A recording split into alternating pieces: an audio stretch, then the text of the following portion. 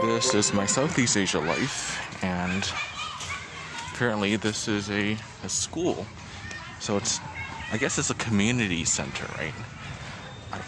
In Cambodian life, I mean, in, in Cambodian society, rather, right? The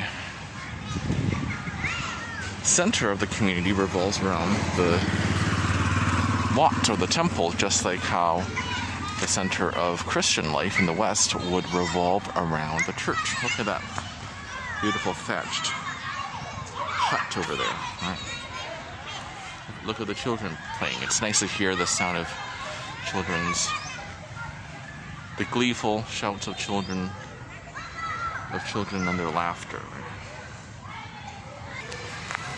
And I was just told by my Cambodian friends that this is some sort of school as well as a cafe. Let's go see.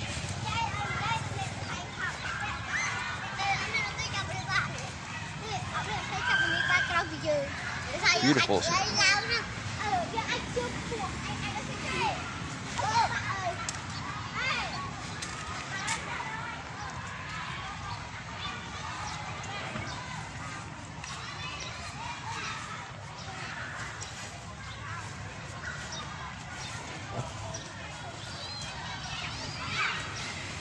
I see. This looks like a this looks like a beautiful structure, doesn't it? Nice structure.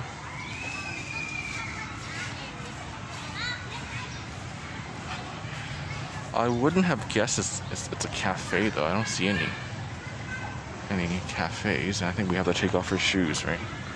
Yeah, everyone else has. See how the, the respect here.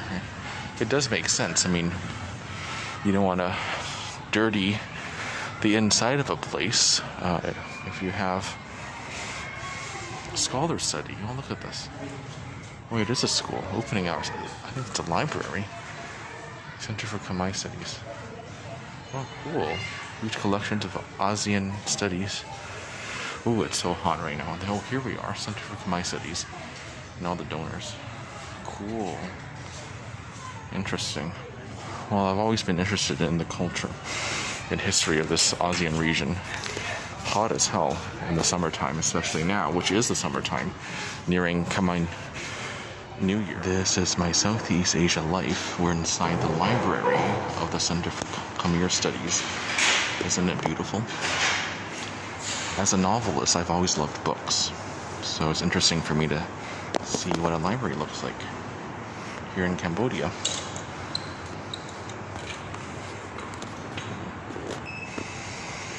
A lot of the books are in the Khmer language, but I see a lot in English as well. I'm deliberately keeping my voice down because, well, it's a library. You, you don't want to get shushed by the librarian, right?